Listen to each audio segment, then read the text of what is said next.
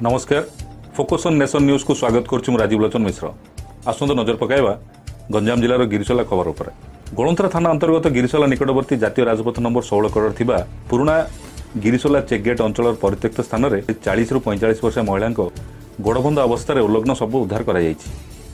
ଉକ୍ତ ମହିଳାଙ୍କୁ ଧର୍ଷଣ ପରେ ହତ୍ୟା କରାଯାଇ ଏଠାରେ ଛାଡ଼ି ଦିଆଯାଇଥିବା ପ୍ରାଥମିକ ତଦନ୍ତ ବେଳେ ଜଣାପଡ଼ିଥିଲା ବେଳେ ଖବର ପାଇ ଗୋଳନ୍ତରା ଥାନା ଆଇଆଇସି ଡକ୍ଟର ଆଲୋକ ଜେନା ସଦର ଏସ୍ଡିପି ଅଶୋକ ମହାନ୍ତି ପ୍ରମୁଖ ଘଟଣାସ୍ଥଳରେ ପହଞ୍ଚି ଫରେନ୍ସିକ୍ ଟିମ୍ ସହାୟତାରେ ଯାଞ୍ଚ ଆରମ୍ଭ କରିବା ସହ ବ୍ୟବଚ୍ଛେଦ ନିମନ୍ତେ ବ୍ରହ୍ମପୁର ବଡ଼ ମେଡିକାଲ ପଠାଇ ତଦନ୍ତ ଜାରି ରଖିଥିବା ଜଣାପଡ଼ିଛି। ଏହି ଅଞ୍ଚଳଟି ଓଡ଼ିଶା ଓ ଆନ୍ଧ୍ର ସୀମା ଅଞ୍ଚଳ ହୋଇଥିବା ବେଳେ ଘଟଣା ଘଟାଇଥିବା ବ୍ୟକ୍ତିମାନେ ଉଭୟ ସୀମାବର୍ତ୍ତୀ ଅଞ୍ଚଳର ପୁଲିସକୁ ବୁମେରାଙ୍ଗ କରିବାକୁ ଏଠାରେ ଶବ ଛାଡ଼ି ଚାଲିଯାଇଥିବା ଅନୁମାନ କରାଯାଇଛି।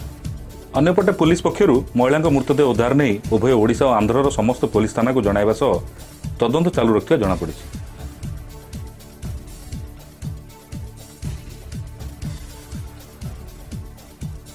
ବ୍ରହ୍ମପୁର ରାଜୀବ ଲୋଚନ ମିଶ୍ରଙ୍କ report focus on nation news